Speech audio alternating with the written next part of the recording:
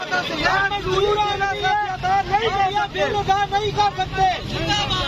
ਆਪਣੇ ਆਪਣੇ ਬਿੱਲ ਬਾਹਰ ਕੱਢ ਕੇ ਅੱਗੇ ਸਾਨੂੰ ਬਿੱਲ ਸਾਲ ਨੇ ਪਏ ਸੀ, ਬਿੱਲ ਸਾਲ